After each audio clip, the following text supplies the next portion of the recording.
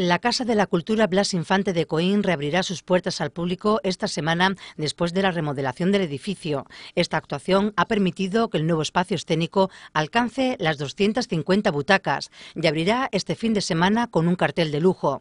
El viernes a las 7 de la tarde actuará la joven Orquesta Provincial de Málaga. El sábado a las 9 de la noche tendrá lugar un concierto del grupo musical Aslácticos y el domingo a las 12 de la mañana estará dedicado a los pequeños con el espectáculo espectáculo infantil Peneque, La máquina de la felicidad. Los interesados en asistir pueden retirar sus entradas de forma gratuita en el convento de Santa María hasta agotar localidades.